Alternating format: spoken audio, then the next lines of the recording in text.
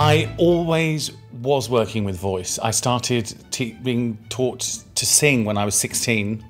I got to university and voice was a big component there. And then, as any actor will tell you, you need to do a job in between your acting jobs that doesn't kill you. So I was voice coaching. Last year I was in uh, Sheffield Crucible doing working on a play there with deaf people. I worked at Manchester Royal Exchange um, and I also work at London Met teaching voice on the theatre and performance uh, theatre and performance practice degree. There's a lot of physical barriers towards good vocal production, but there is inhibition which is a, a, psychological problem. And then we see people carry enormous tension in their jaws, their shoulders, in their necks, and tension stops you from releasing the potential of your voice. And then I work with singing because singing is, once you get past the uh, feeling of um, shyness that people have often with singing. You say, it doesn't matter. You know, we're not training Maria Callas here. Just want you to relax and open the throat because from opening the throat, we can help with projection. We can help with being, being seen and heard on stage because it's, you know, it is a thing. If you're seen on stage is one thing, but to be seen and heard is another thing again. The common thing is that everybody's different. And so we have to find ways of working that appeal to young people when they are um, on a process of reinventing themselves, but they don't quite know where that's going and how it's going to work out. And we need to try to you know, get to the spirit of them in such a way that whatever work they do with their voice, that it feels like it's them.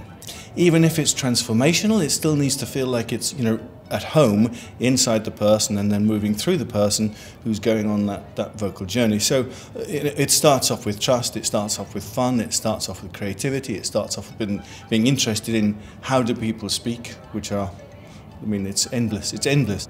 Everything has a logo. Uh, clothing has a logo. People, even the kind of makeup that people use has a logo, and so forth. So people make themselves with the products that they tend to put on themselves. Whereas to find the, the truth in the voice isn't just about uh, uh, an aesthetic that pleases people because of a particular sort of sound set. Um, uh, actually, it's more to do with something that comes from the core. If you make your voice a logo, you've only really got one expressive choice, and that's unlikely to sustain you for a whole career. So actually, there's a delight in finding a different in these different ways of speaking, and um, and it's something that's really natural to us. We're kind of like vocal octopus. We can change our shape, we can change our vocal patterns, provided we do so playfully and free freely, um, and then see how it um, connects to the core. It's in our species, it, in a way, often with a restrictive use. What we're doing is letting certain sorts of fashion dominate the flexibility that we naturally have. Um, but who knows which way it's going to go. I was very fortunate. I was on the BBC on the radio rep for quite a long time with the BBC World Service, which is slightly different from the main radio rep. Um, so about 100 years ago, I was I was doing that, and then from there, I had a, there were a lot of spin-offs into commercial radio and more educational animations. So yeah, I think um, the main thing when you're in a studio is a much smaller space. As opposed to being on the stage where you're actually getting everything out there and you've, you've got to project a lot more.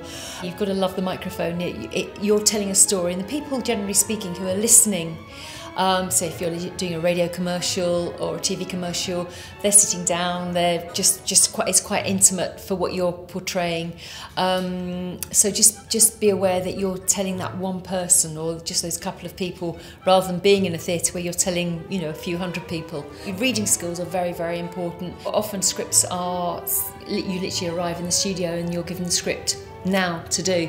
So you start reading prim primarily sight reading. If you've got accents that are naturally your native accent, work towards that rather than trying to flatten everything off into standard English. Make sure your voice is very, very well warmed up. Any any actor, they all, everyone knows how to do all your voice warm ups and um, you know make sure that you're you're fully prepared before you leave the house in the morning. Make sure you've got that. Um, don't have any coffee or chocolate or milk or any fizzy drinks that are going to muck up your voice. So, and again, the main thing I think is to just be prepared. You're working in front of the microphone. Just, just very, be very aware that you are. It's you and and the microphone there, and just get to love it.